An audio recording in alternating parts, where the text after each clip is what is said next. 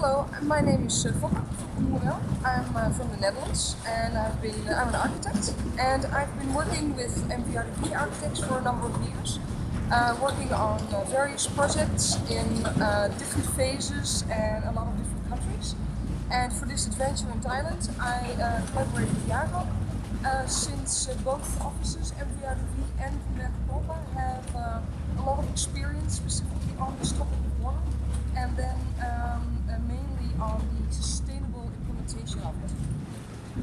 And my name is uh, Jago van Bergen, partner architect from uh, Van Bergen Kolpa Architects, based in Rotterdam. And uh, together with Evert Kolpa, my partner, we uh, run projects in the office about urban and architectural design below sea level.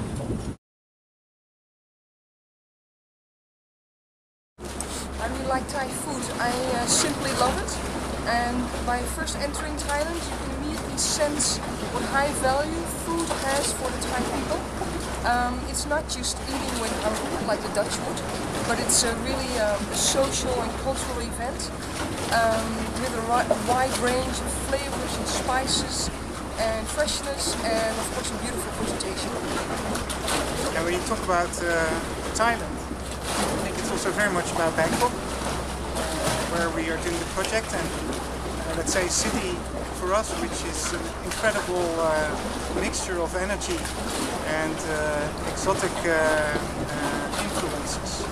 And uh, about food, Thai food, um, I think the complexity is a, a very uh, uh, beautiful thing of it, a very tasteful thing of it. You can taste at the same time sour, sweet and salt elements within one uh, dish.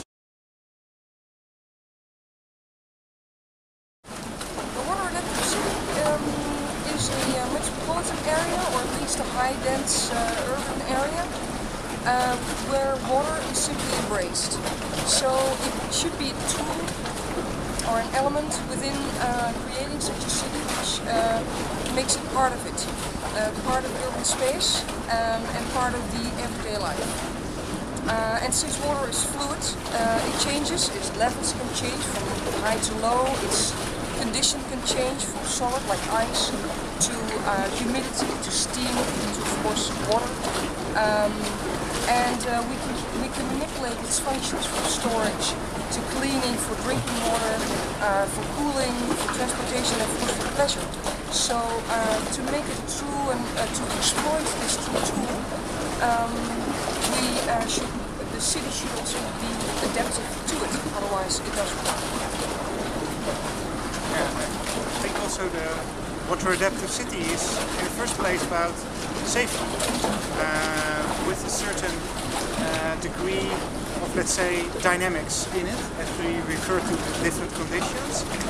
Um, and um, let's say these dynamics can give uh, to the inhabitants of the water adaptive city all kinds of uh, new experiences and also uh, adventures maybe uh, on a daily uh, basis. So uh, the water adaptive city is both safe and adventurous. Yeah, to create a water adaptive city,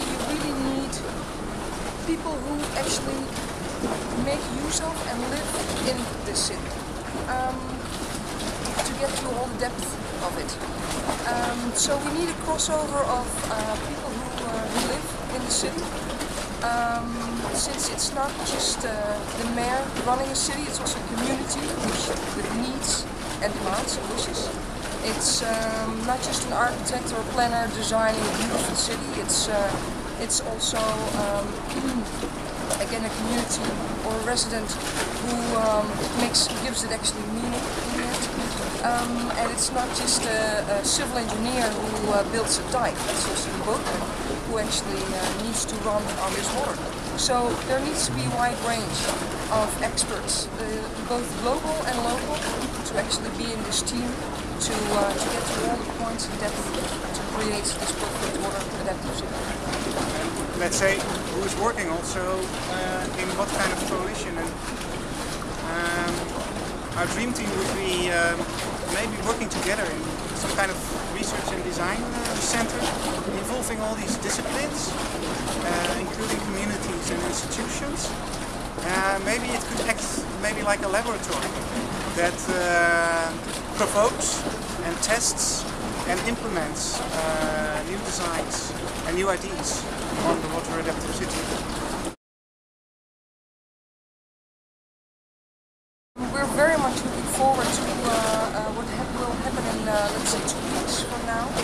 Um, first of all, we'll be visiting the exhibition about the workshop we had on the Bangkok Adaptive City 2045 at Silpakorn. Um, then we will uh, eagerly uh, the publication that we have been working on with all the essay writers, um, and which is then finished. Um, and we will visit the mini symposium that we're um, about to um, uh, to finalize, uh, and invited a lot of participants who actually together indeed make this coalition that we just described. So we're just really looking forward to what happens. Also looking forward to uh, a little field trip uh, to uh, Ayutthaya and uh, see how uh, an original water adaptive city uh, actually uh, works. Well, we really hope that a lot of in- inspiration will come from this. So indeed, new collaborations can start to exist um, to actually simply make this adventure into a very meaningful exercise. And that if this coalition, in what kind of form uh, you can think of takes place, you can jointly work together on uh, water adaptive uh, cities and architecture. That would be uh, fantastic, fantastic.